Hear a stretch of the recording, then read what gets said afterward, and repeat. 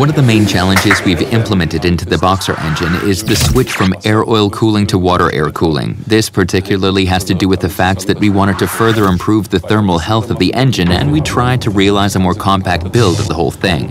The engine is even more emotional, more enthusiastic, and everything has a certain lightness to it, which represents an enhancement in comparison to the current version.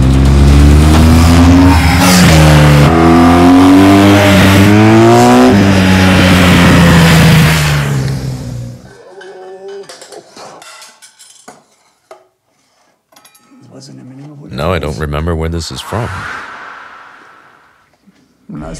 No, that was Kutzting. That's the wrong one. That could be it. Ah, there it is.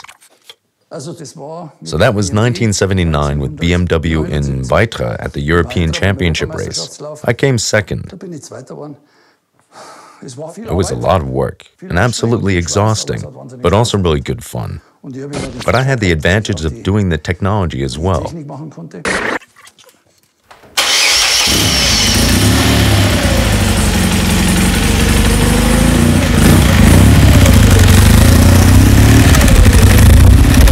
That was the original base model, yeah.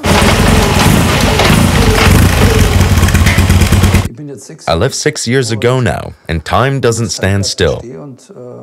I know my ex-colleagues are good people and know how to build motorbikes. So, I'm really looking forward to finding out what this bike can do.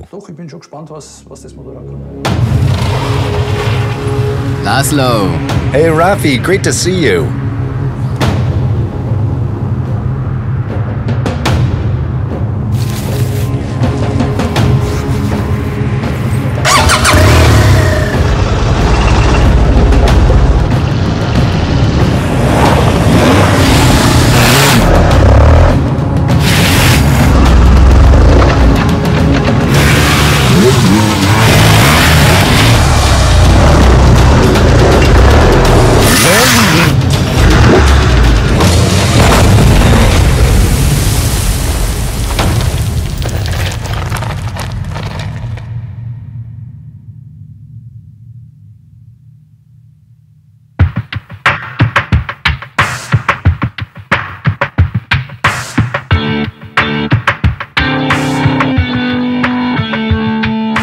Make a great vehicle even better, you need a good team.